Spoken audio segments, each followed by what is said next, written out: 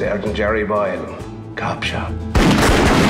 Oh, was it a sheep or something? It's a lamb. I mean, what would his parents think? I've got some information about that murder last night. What murder? How many murders have you had in the last 24 hours? That's for us to know and you to find out. Sidereel sat down with the director John Michael McDonagh to talk about his latest film, The Guard.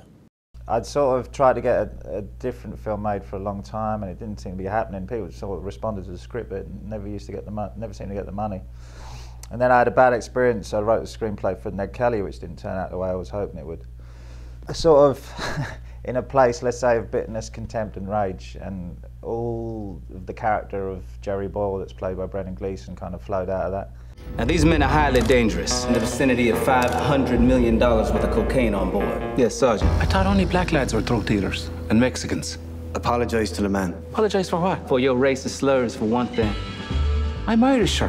Racism is part of my culture. Maybe I'm slightly sort of, I don't know, I'd say autistic or something, but I never really considered uh, considered the way it would be received. Um, my, when my brother had read the script, he said, "No, no, I think this might shock people." So I thought we might start by canvassing the neighborhood. Chilly out, huh? Sorry, you lost me at we. And I was wondering if I could ask you a few questions.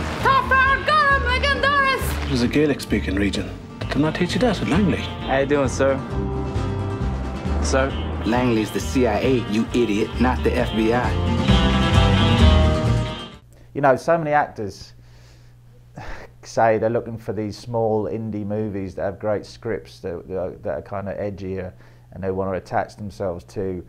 And you hear that all the time, and most of the time it's just waffle. They never attach themselves to it. They get, the, you know, they go and do, uh, you know, I don't know, Transformers 5 or whatever the hell it is. They, they, it's just a lot of bullshit most of the time, really. But Brendan and Don actually put their names behind it when there was no money. You know, it'd be good, it'd be a good idea if more actors did that. Only having a bit of fun, like.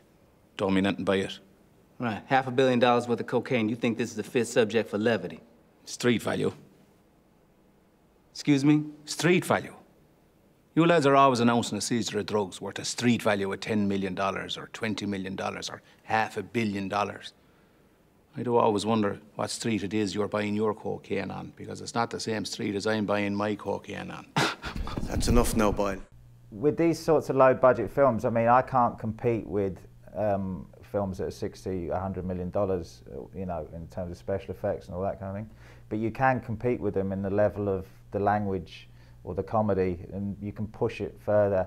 So you're pushing it into areas where they probably haven't seen it before. So you grow up in the projects? No, I did not grow up in the project.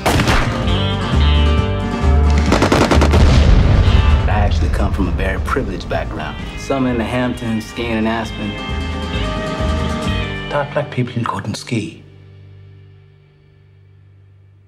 Or is that swimming?